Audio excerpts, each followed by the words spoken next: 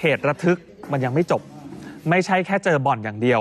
ไปเจอต่างด้าว ผิดกฎหมายหลบอยู่ในบ้านเช่าแถวตลาดด้วย 10 กว่าคนจับมาตรวจโควิด เจอผลออกมาชัดเจนเรียบร้อยแล้วว่า ติด 7 คน นี่คุณผู้ชมนี่คือภาพตอนที่ลายพวกเขาออกมานะครับ อืมจริงๆก็จะได้ยินเสียงในคลิปเนี่ยนะจะมีเสียงคนพูดเลยว่าอ่าไม่ต้องร้องไห้ ไม่ต้องร้องไห้ออกมาเลยออกมาเลยอย่างนี้นะครับคุณสุชีพอารีประชาพิรมผู้อำนวยการเขตดอนเมืองเนี่ยรายงาน กรณีเรื่องของการจับกลุ่มคนต่างด้าว ซึ่งเป็นชาวโรฮิงญาหรือโรฮิงญานั่นแหละในชุมชนหลังตลาดใหม่ดอนเมือง หลบหนีเข้าเมืองนะครับ โดยเขาบอกว่าประชาชนในชุมชนประเสริฐเปรมประชา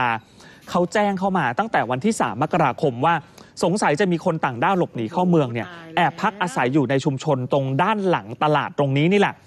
สอนอดอนเมืองก็เลยเข้าจับกลุ่ม แล้วก็เจอจริง ๆ เป็นชาวโรฮิงญาหลบหนีเข้าเมืองมาทั้งหมด 18 คน ก็ส่งต่อไปที่ตำรวจตรวจคนเข้าเมืองไปกักตัว แล้วหลังจากนั้นเนี่ยเขาก็ประสานไปที่กองควบคุมโรคมาตรวจ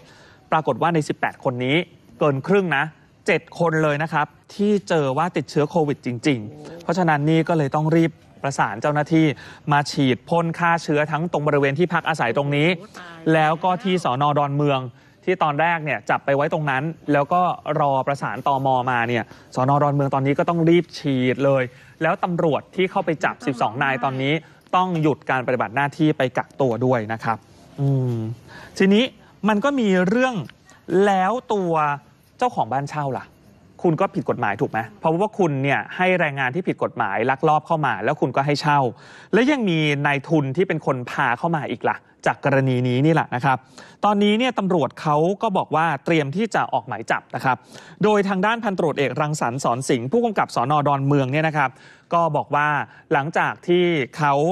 ไปเจอว่ามีการตรวจเนี่ยนะฮะ ตอนนี้เนี่ยก็พยายามที่จะสืบค้นไปต่อ ถึงต้นต่อว่าใครที่เป็นคนนำเข้ามา แล้วเจ้าของบ้านเช่าเนี่ยคุณให้เขาเช่า เพราะฉะนั้นตรงนี้เนี่ยเตรียมที่จะดำเนินคดี จะไม่ให้มีเหตุการณ์ลักษณะแบบนี้เกิดขึ้นซ้ำรอยอีกอย่างแน่นอน กดติดตามและกดกระดิ่งแจ้งเตือนจะได้ไม่พลาดคลิปใหม่ๆ จากดิว18 กันนะคะ